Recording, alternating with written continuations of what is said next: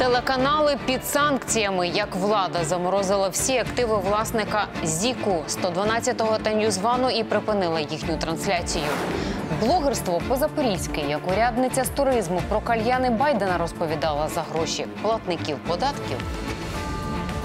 Ексклюзивне інтерв'ю з новим холостяком. Хто він і яким буде цьогорічне найромантичніше реаліті-шоу СТБ.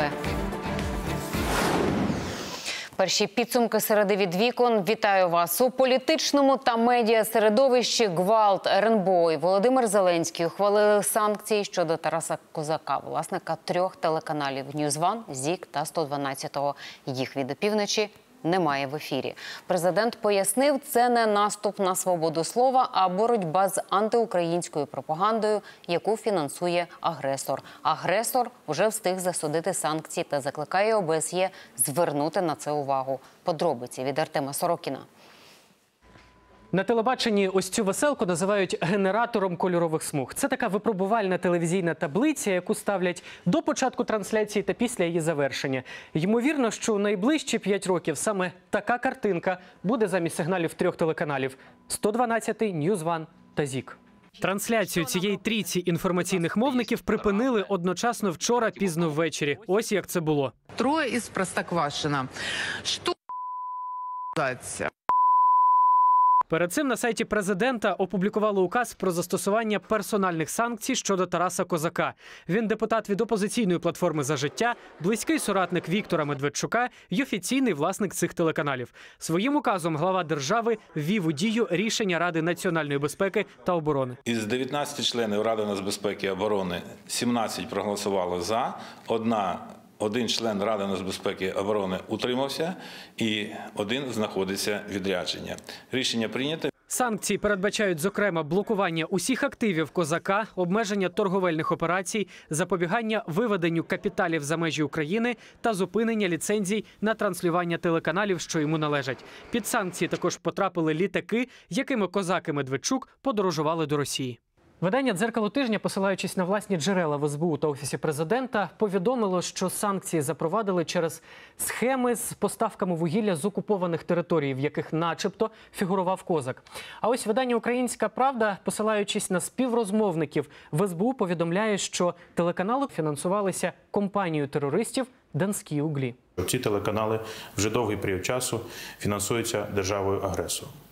Відповідно, держава не могла надіяти в тих умовах, коли агресія ще більше посилюється, коли Крим залишається окупованим, коли українські солдати продовжують е, гинути Враховуючи дані, якими володіє служба безпеки, а також численні порушення законодавства у сфері телерадіомовлення, зафіксовані Національною радою України з питань телебачення та радіомовлення, СБУ надала обґрунтовані рекомендації РНБО прийняти відповідне рішення. Існує велика різниця між свободою слова та відвертою антиукраїнською риторикою. Свобода слова закінчується там, де з'являються ознаки посягання на територіальну цілісність та суверенітет України.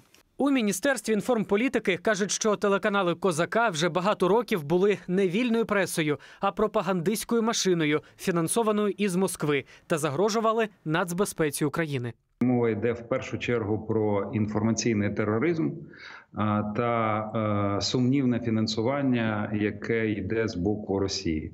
Ми живемо в час війни, і інформаційні війни і непрозоре фінансування є приводами для того, щоб подивитися не тільки на те, які маніпуляції та фейки застосовували ці канали, але безпосередньо на, е, на те, що власне вони робили. На мій погляд, інакше ніж інформаційним тероризмом, це назвати не можна. Мінінформполітики направить рішення РНБО щодо санкцій і до компанії YouTube. Проситиме закрити сторінки заборонених каналів. Коротке пояснення щодо санкцій зранку оприлюднили у твіттері президента. Санкції важке рішення. Україна рішуче підтримує свободу слова, не пропаганду, що фінансується країною-агресоркою, яка підриває Україну на шляху до ЄС та євроатлантичної інтеграції. Боротьба за незалежність це боротьба в інформаційній війні за правду та європейські цінності.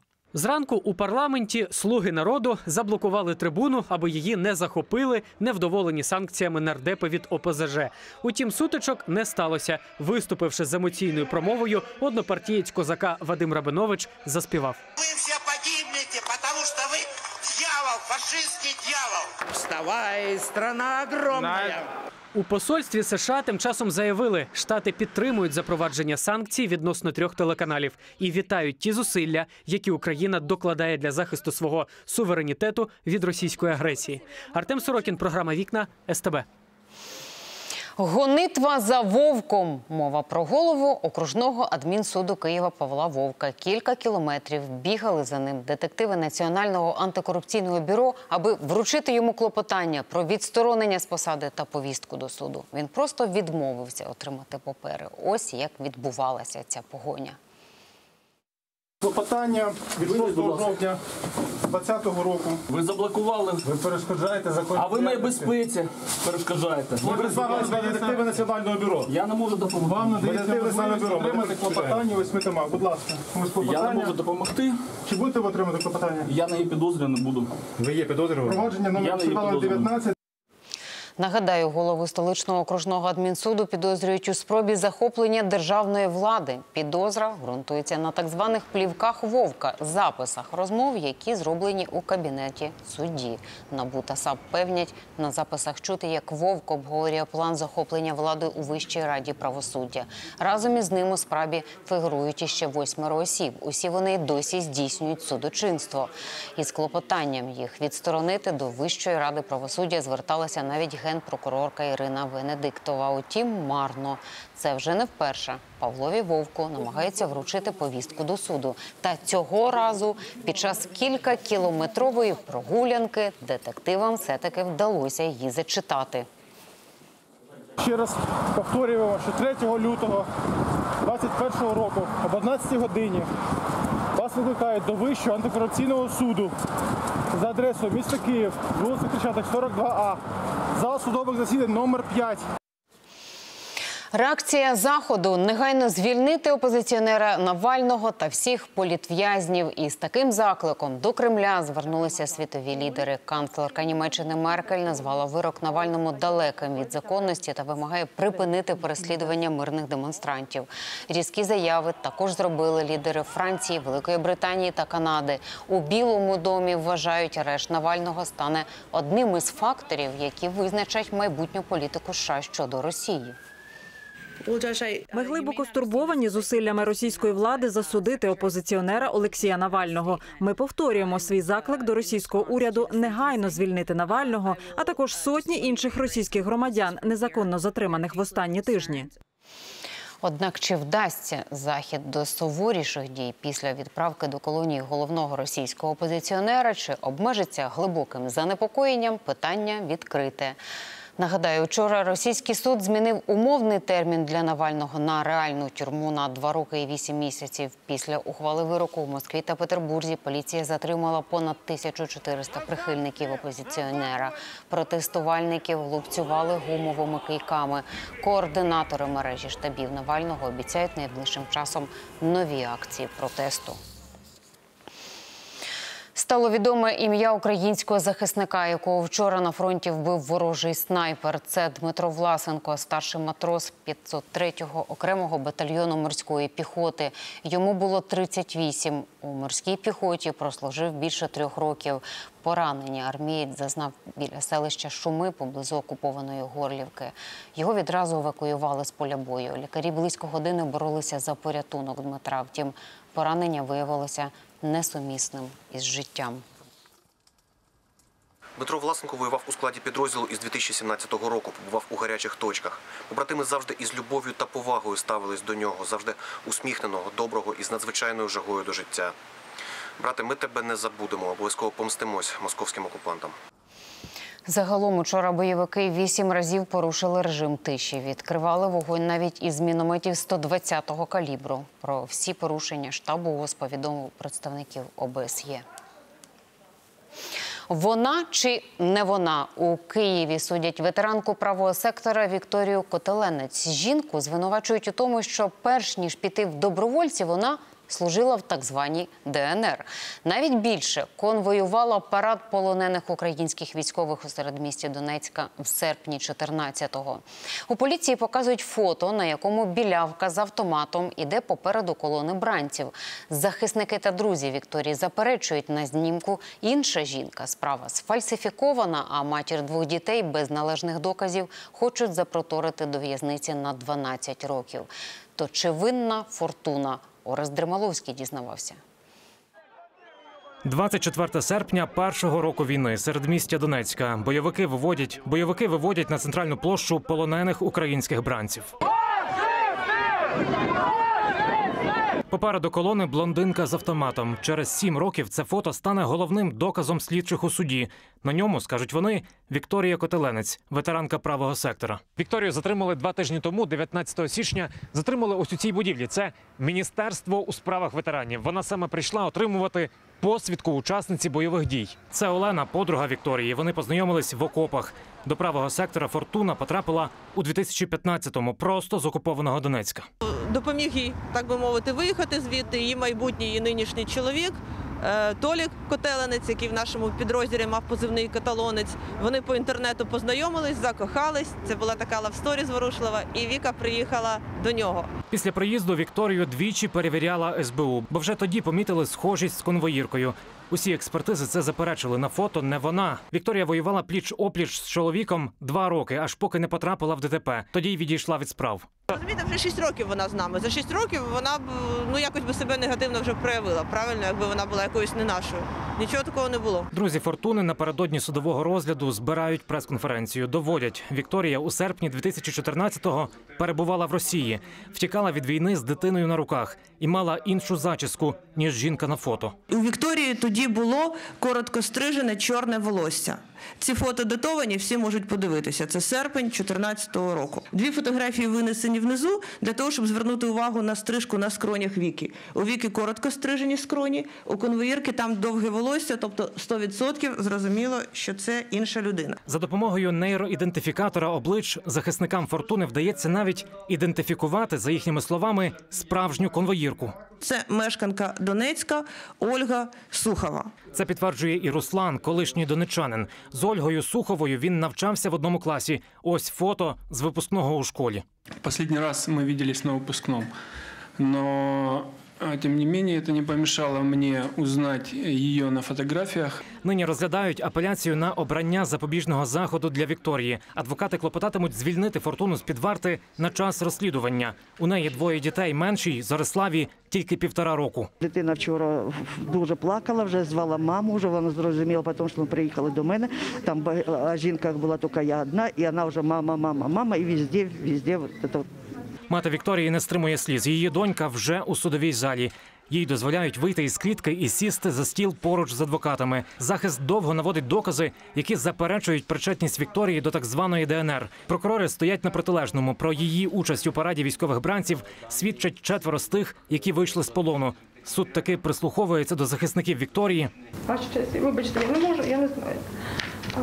Я можу сказати, я до цих подій 14 року не причетна. Я не маю жодного відношення до них. і частково задовільняє їхнє клопотання. На час розслідування Вікторія перебуватиме під домашнім арештом на орендованій квартирі у Києві разом із двома дітьми і чоловіком-десантником. Орес Дремоловський, Максим Костенко та Володимир Коваленко. Програма Вікна СТБ.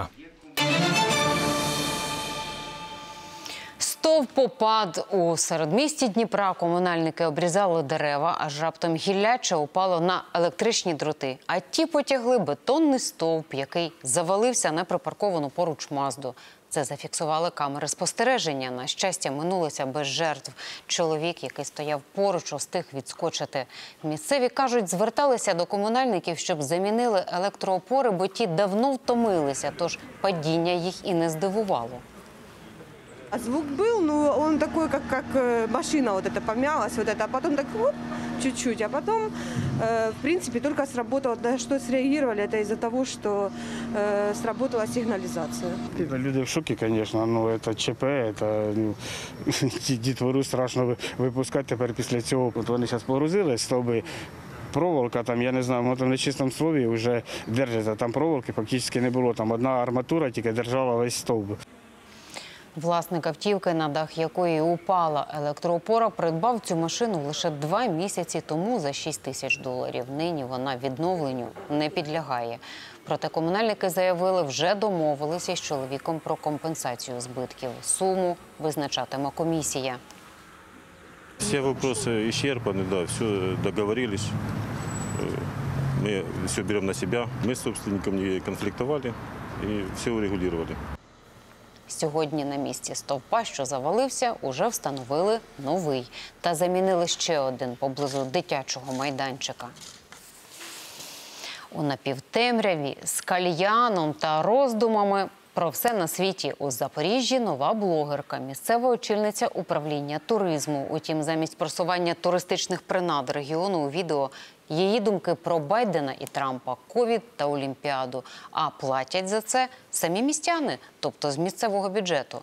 Журналісти-розслідувачі з'ясували, на таку промоцію міста вже витратили 200 тисяч гривень. Що це за туристичне блогерство у самої урядниці? Розпитав Андрій Почтів. Знайомтеся, це очільниця міського управління туризму Катерина Симонова. Вона нетипова чиновниця. Привет, друзья! Я Катерина Симонова, я чиновниця третьої волни. Цей 20-хвилинний ролик урядниця розмістила на ютуб-каналі муніципального туристичного центру, фінансованого з бюджету. Я просто люблю свой город, і о боже, я просто не могу жить без кальяна. У ролику посадовиця із кальяном на похопі розмірковує про глобальні політичні події, згадуючи то Трампа, то Навального. Алексей Навальный сделал много шума в прошлом году, э, начиная с отравления или недоотравления через трусы. Безусловно, Америку очень сильно штормит э, за последние полгода. Під роликом одразу посипалися коментарі обурених користувачів. Даруйте, а чого це ви так раптом забули українську мову? Зачем это продвигать от имени города еще и за деньги бюджета? Керівниця управління культури і туризму в Запоріжжі на ютуб-каналі Запоріжжя Сіті розповідає нам про США, Росію, Зеленського та Добкіна. А з загального 20-хвилинного відео на культуру та туризм в Запоріжжі відводить лише 2 хвилини 35 секунд. В'ячеслав Зайцев знаний Україні кіборхатовець, а нині депутат міськради. Відеороликом урядниці теж відверто обурений. Певнить, у місті безліч проблем і є на що витрачати гроші. У нас там питання по кисневим е, цим е, апаратам. Штучного дихання по е, забезпеченню наших лікарів і так далі, не кажучи вже про там е, школи, про пожежну безпеку в школах і так далі. І так далі. Ми тут витрачаємо нам подібні блоки. Чи не першими на скандальний ролик вказали журналісти-розслідувачі порталу Наші гроші, що викривають протизаконні дії місцевих посадовців. Наш колега Олег Шемчук каже, на подібний контент для запорізького управління туризму мерія витратила за рік зо 200 тисяч гривень. Ми побачили у Прозора, що е, було 5 закупівель дрібних на 200 тисяч гривень. Ось і там, зокрема, було монтаж і зйомка відео. Ось і нам підтвердили журналісти, що це е, ну ця закупівля, ось, зйомка цього блоку входила у цей перелік закупівель. Ці закупівлі так подрібнили, щоб не проводити конкурс. Тобто віддали без конкурсу одній особі. Туристичний інформаційний центр, де знімали скандальний ролик у самому середмісті. Це та сама чиновниця-блогерка пані Катерина. Пропонує спілкуватися на дворі, бо ж коментар неофіційний. Вона говоритиме просто як городянка українською та без кальяну. Якщо буде коментар стосуватися випуску на youtube каналі Запоріжжя Сіті, то звісно не як пос- ну, не як чиновницю. Так ви ж у ролику кажете, що ви чиновниця третьої хвилі, здається.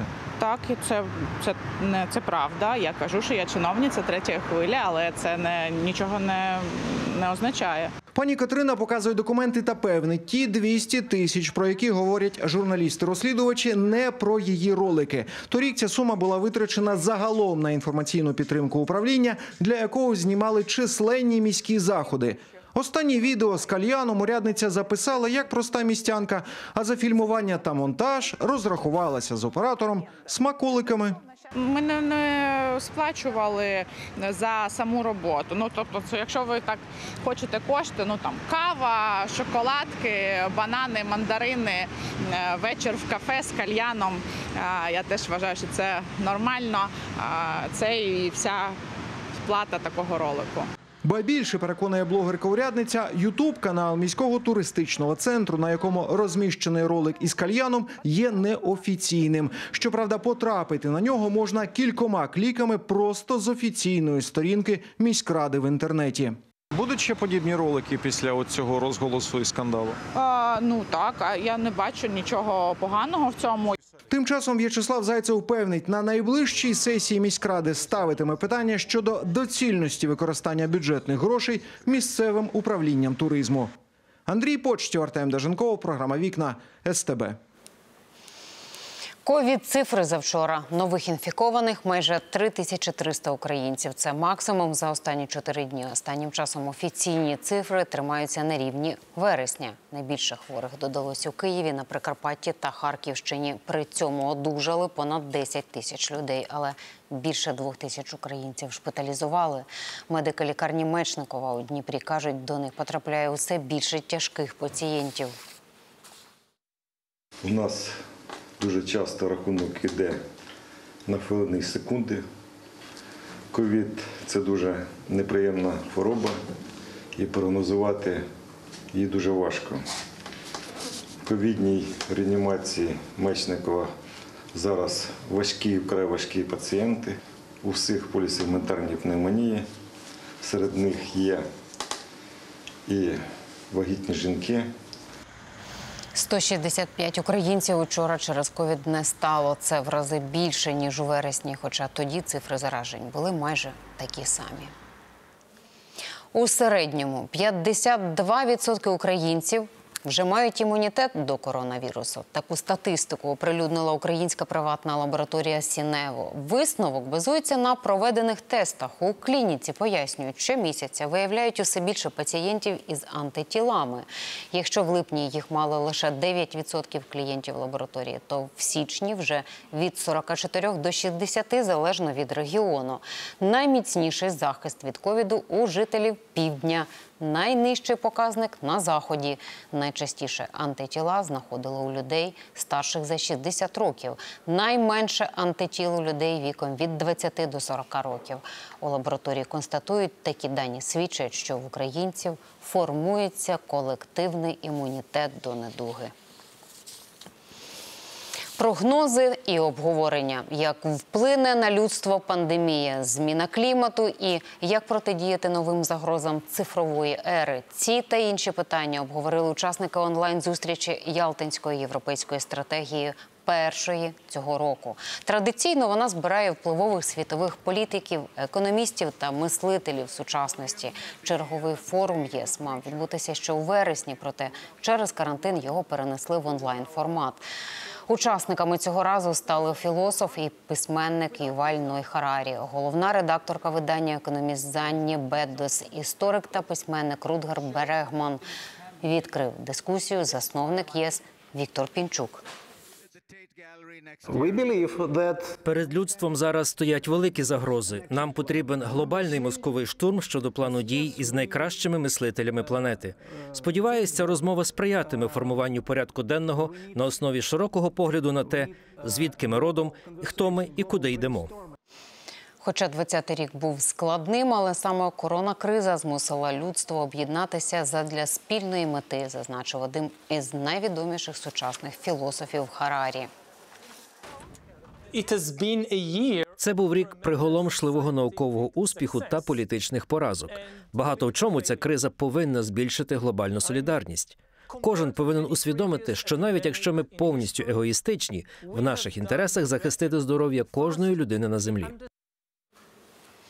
Відкриття події ЄС привітав Володимир Зеленський у своєму твіттері. Він зазначив, людство цитую має подолати не лише COVID-19, а й своїх внутрішніх демонів, ненависть, жадобу та неудство.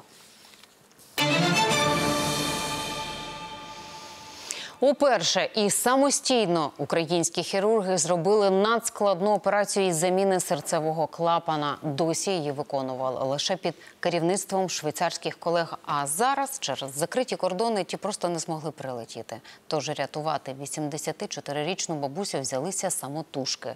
І не минуло і двох тижнів після операції, а вона вже ледь не бігає сходами, хоча до того і п'яти кроків ступити не могла. Подробиці від Аліни Матвійчук. Вот так вот я ходила, я больше не могла, потому что мне надо было стоять і, і одышка. А зараз я вже вот так хожу. Сьогодні пані Світлана радіє, що може ось так вільно підійматися сходами. А питання, чи не складно їй це робити, бабусю тільки веселить. Двумя? Ні, абсолютно. Поруч із нею це не сила повірити, але пані Світлані 84. Зараз ми прямуємо на УЗД серця, але якби побачилися із нею зо два тижні тому, наша зустріч була би зовсім інакшою. Реанімація відділення кардіохірургії на столі пані Світлана з ішемічною хворобою серця та аортальним клапаном, що вийшов із ладу та більше не може переганяти кров. Над нею з десяток медиків, а на моніторах вкрай складна операція заміна того самого клапана на штучний. На работающем сердце, без аппарата искусственного кровообращения, без остановки сердца имплантируется артальный клапан. Он заводится в закрытом состоянии в так называемой системе доставки. Это такая длинная штука, э, которая должна пройти через бедренную артерию и дойти внутрь сердца. То есть она по длине в районе метр сорок. Робота ювелірна. Увесь апарат заводять через маленький розтин на стегні. На складну процедуру наважилися, бо шанс у такому віці вижити після відкритого оперування був би невисоким. Риски летальности открытой хирургии у этой пациентки составляют э, более 45%. Она приехала на каталке, она не могла пройти пяти шагов в связи с задышкой, которая была связана с сердечной недостаточностью. У этой пациентки это уже шло, я думаю, на неделю. То есть, грубо говоря, если бы мы ничего не сделали, скорее всего, что до месяца, ну, Ось ця сіточка, це і є клапан. Світлана стала першою, кому українські хірурги імплантували його без допомоги швейцарських колег. Ті завжди курували такі й без того рідкісні процедури в Україні. А відтепер це самостійно робитимуть і наші фахівці. Мой спаситель. Здравствуйте. Хорошо. Да? Да. Выглядите отлично. Хорошо, спасибо.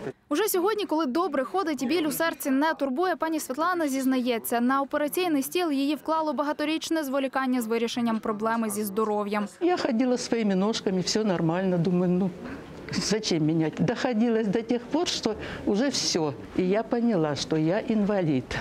Лікарі певнять, проблеми із серцевими клапанами мають чимало літніх українців. Если взять всех пенсионеров, вот 2% всех пенсионеров требуют этой процедуры. Они могут и не доходить до больницы просто. Можна сказати, Світлані Ваганівні пощастило. Клапан та обладнання для його встановлення оплатили із бюджету. Вартість одного – 26 тисяч євро. Родина ж бабусі виклала гроші тільки за витратні матеріали. А от що робити сотням та навіть тисячам інших пенсіонерів, які так само потребують рятівних клапанів? Бо ж державної програми щодо фінансування ось таких от імплантацій немає. Для стариков, которые ну, не обеспечены э, финансово, это должны быть социальные программы. Почему наша страна не может им дать 15 лет или 20 лет качественной жизни, если у них есть проблемы?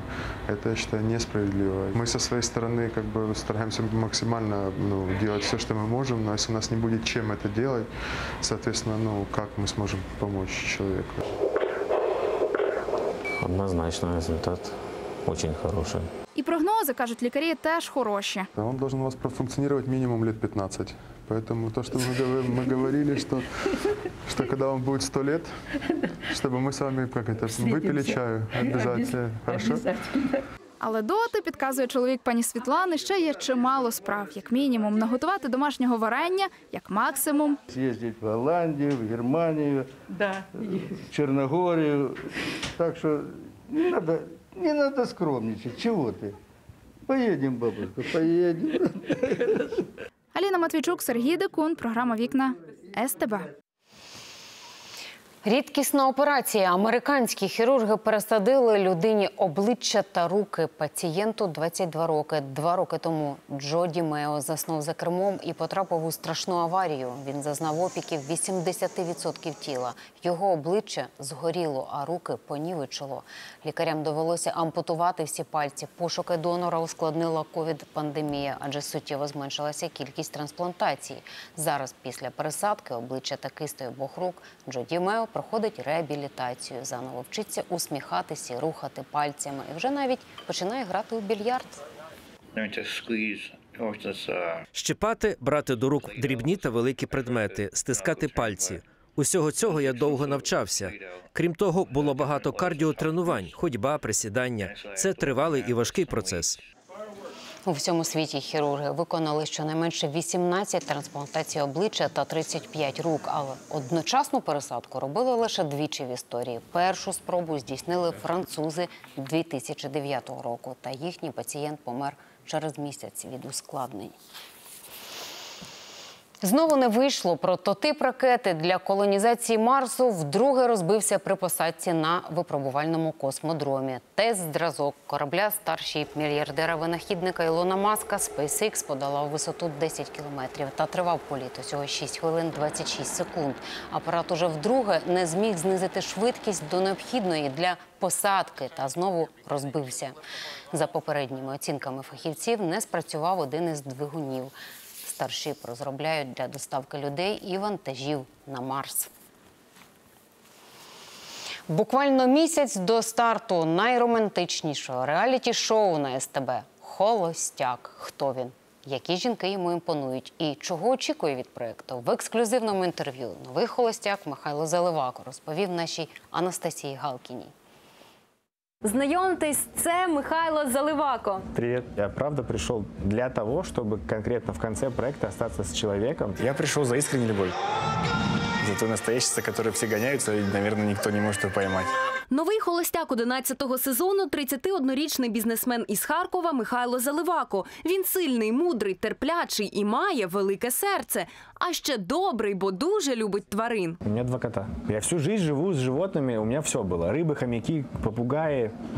э, Вообще все, крысы и собаки, коты. То есть у меня всегда были животные с детства, поэтому я не представляю свою жизнь без еще там одной живности дома. Вот никак. У меня э, кошка абиссинская и второй у меня кот. Своє перше велике інтерв'ю про участь у холостяку Михайло дає щиро, без хвилювання. Это очень классный проект, в котором очень хорошо и детально можно просмотреть взаимоотношения между мужчиной и женщиной. В цьому реаліті тобі потрібно на всю країну показувати твоє життя і твої почуття. Чи тебе це лякає? До сели я такого никому не показывал, наверное, прям настолько детально. И меня, меня не смущает то, что я могу оказаться влюбленным, либо же, я не знаю, каким-то там чувствительным. Нет, вообще не парюсь по этому поводу. Что, что такого? Така впевненість у собі та сильний характер у Михайла завдяки спорту, яким він займався із самого дитинства. Я не вижу себя без спорта. Мне его с детства привили. У меня была тяжелая атлетика. Ну, изначально у меня была гимнастика спортивная. Довольно-таки долгое время. Потом у меня были травмы, я ломал спину. Я два месяца лежал не вставая, меня учили заново ходить. Я лежал привязан на таком валике, прогнувшись. Ну, типа, ничего веселого нет. Після реабілітації Михайло не покинув спорту і далі тренувався у залі. Тобі важливо, щоб твоя дівчина була спортивною? Мне не важно, но мне бы хотелось. Я бы хотел, чтобы она не была не спортсменка, а чтобы она просто хотя бы имела представление, что такое спорт, и понимала, что, блин, это круто. Окрім спорту, Михайло любить модні речі. У нього більше 70 пар взуття. Та свою супутницю він обирає не за вбранням. Человек – это личность, и выделяются личности, те, которые запоминаются не потому, что у них какая-то своеобразная профессия, либо же они очень пестро одеты. А дело, наверное, в том, что как себя девочки проявляют, что они говорят, как они мыслят. До кохання Михайло ставиться із великою відповідальністю. Його стосунки завжди тривалі. З останньою дівчиною він жив разом два з половиною роки. Справжньою отрутою для кохання він вважає сварки з матюками. Матом ругаться в отношениях – это именно катастрофа. И она не будет. За все життя Михайло лише раз освічувався у коханні. Что касается по поводу любви, то я, я очень много в это слово вкладываю, поэтому я тебе скажу так, что я лично это слово говорил единожды. Чувство это проговаривал. Ну, для меня это прям серьезное слово. Міша, ти зараз закоханий? Я могу тебе сказать, что у меня, у меня есть влюбленность. Одинадцятий сезон проєкту Холостяк буде сповнений романтики та сюрпризів. Уперше в історії реаліті головний герой попросить змінити правила. Та чи вдасться йому це зробити? Побачите вже незабаром. Прем'єра реаліті-шоу про щире кохання стартує на СТБ 5 березня. Не пропустіть! Анастасія Галкіна, Ростислав Чомко, Владислав Пустовіт. Програма Вікна СТБ. А мені лишилося нагадати, що від понеділка на телеканалі СТБ стартував сезон весняних прем'єр. Сьогодні в соціальній лінійці ток-шоу о 19 годині новий випуск проєкту Один за всіх із новим ведучим Сергієм Костирою. Програма розплутуватиме складні сімейні конфлікти і виходитиме двічі на тиждень. Дивіться один за всіх також у неділю о 20-й. До зустрічі і гарного вечора.